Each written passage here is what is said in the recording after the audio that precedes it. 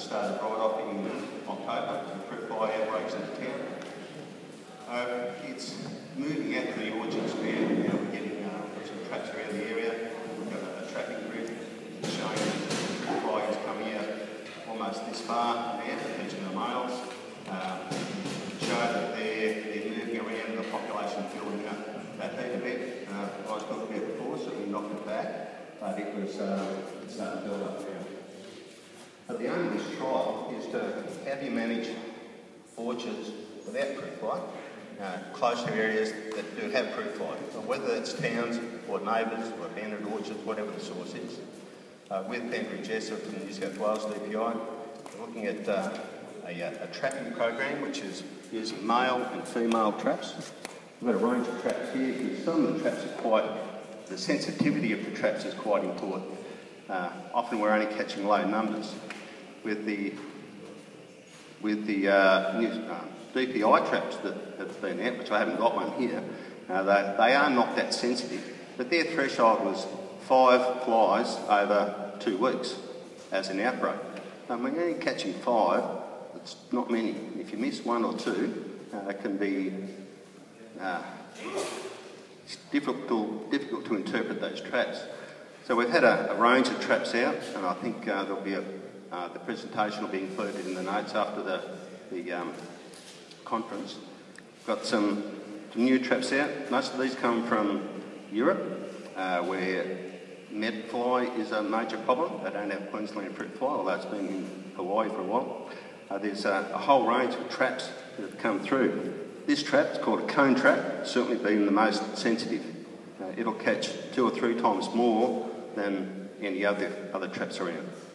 And it's partly to do with the, um, the shape of the trap, the colour, the way the flies go into the, um, the, the cone itself, and the killing mechanism in there too. They always use the same pheromone in there. It's a Q lure pheromone. They did have different killing techniques. So I do have some.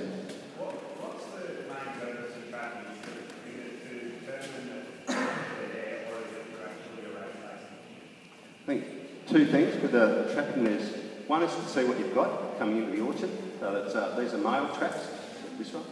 Um, these are all male traps, so they pick up the male fly. So it gives you an idea. The males, as males do, tend to roam a lot more. So they'll go out a lot further than females do. The, the wet traps, this is a Cera Trap that has a bait in it, which will catch the female flies. And the female needs protein as part of the life cycle to, to lay the eggs. So they go to uh, a food source and they don't travel as far. Uh, with the trapping, if you're monitoring, it's important to know what the males are doing because we'll pick up those first, but also if you've got females coming into the orchard. With this uh, program that we have, it's using both the male and the female traps. There's a, actually a, a, perimeter of traps around the outside of the orchard, sorting out how far those traps need to be apart, whether it's 10 metres or 20 metres or so, and catching both the male and the female. So you're catching the, the flies before they establish into the block. You might get uh, uh, some, maybe not too much, but some stings around the outside of the block as they come in. But it's, it's catching them and stopping, stopping them to establish inside the block. Yeah, Russell, is that, are you, are you saying this where you haven't got bait spray program happening, or is this just everywhere you... Well, it's a, an alternative to the bait spray. Yeah. Bait spraying is, um, is a key element in controlling fruit fly yeah. because it kills them female. So there's, there's PS33, which is bait spray. And what's that other one's ICA 47? 47, which is inspection. Yeah, so is this ICA 47 then? Uh, probably after July we won't really need to the ICAs because we're going to be in, the, you know, in Victoria anyway, the suspension zone. So I couldn't say it for certain, I'm not no, sure. No. I think ICA twenty-seven is just uh, purely the, um, the packing shed, just the inspection.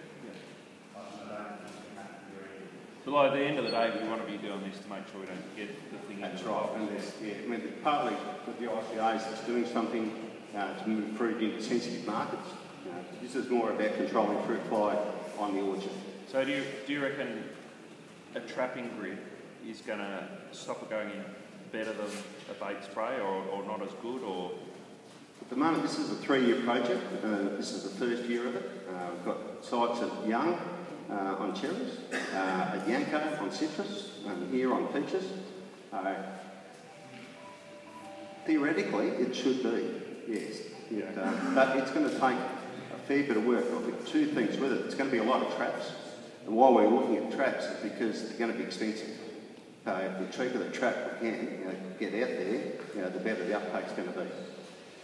And the other is that the trap's probably for 12 months of the year, especially up in this area up here, because if the flies go busted for 12 months a year. They'll be maybe June and July when they're slow, it's colder, uh, but they, they will survive. Certainly survived in the towns and surviving out on orchards, and they'll just sit there. So if you can pick up anything early on, you're just going to pull the population down all the time, keep it suppressed. No, it's here. It's only early days for this project. but It's going to be an alternative to the bait spraying. Bait spraying certainly is a key element because it uh, kills the female fly. The uh, foliar spraying is, is an option. Is, um, is limited because we've lost a few chemicals. The ones we use are, are knockdown, but that's really all they are. There's very short residual with them. They don't have a long-term effect. And the, the other was, uh, what I call it, uh, MAT system or male annihilation technique. It's one of the, uh, inside there is a um, amulet Q lure. That's just a cardboard disc impregnated with the pheromone plus uh, insecticide. You hang those out in the orchard at 16 per hectare. The attracted male flies to that. Uh, they land on it, pick up the insecticide and die. Also need, with any system like that though, you need a, a tracking system to know if you've got flies there and if they're under control. Especially with fruit fly, there's no other indication until you see stings in the fruit, which is a bit too late. Uh, and with, yeah, with anything like that, certainly it's using a female um, lure. And they're all wet lures or bait lures because they come in to feed on the protein. They're, they're messy and they're stinky and that, but they're the best what's available at the moment. Um, certainly give you updates though as, uh, as we go through.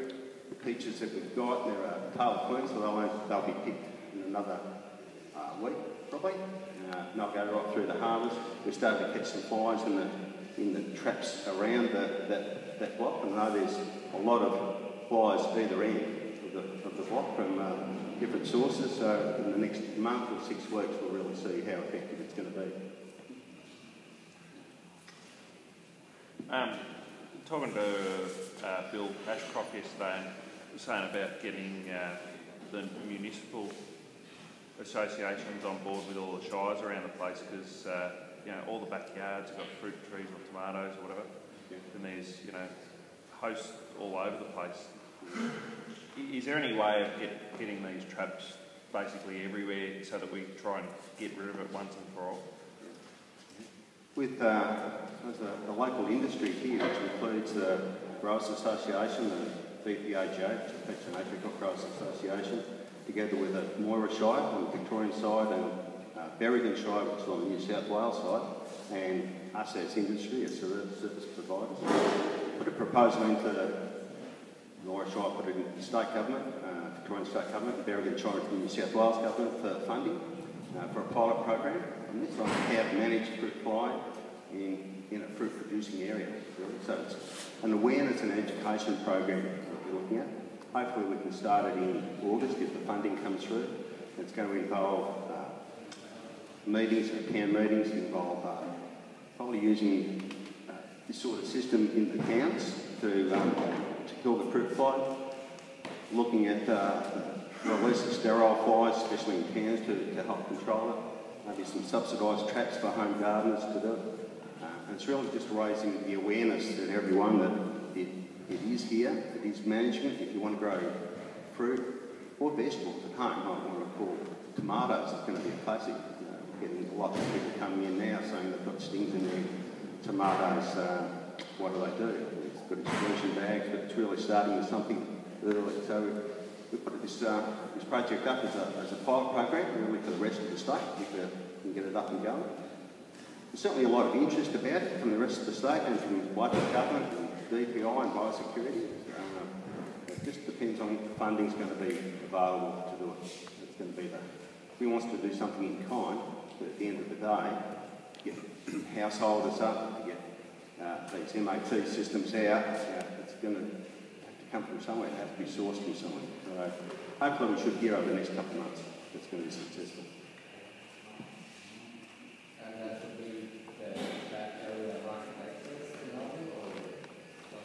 because we're, we're, in a suspension zone now. Now we uh, and that was promoted uh, 12 months ago. I think it comes into force in July or the end of July. Uh, but the rest of the state will be as a suspension zone.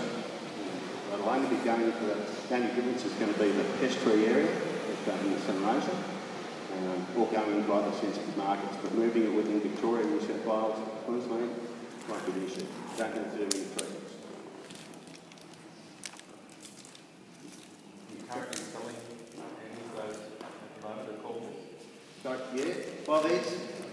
sorting out, we're trying a lot. These are, available. Um, uh, yeah, if anyone wants any more information on traps or trapping, uh, please let me know. Um, and follow up. They're going to be available over the next couple of months.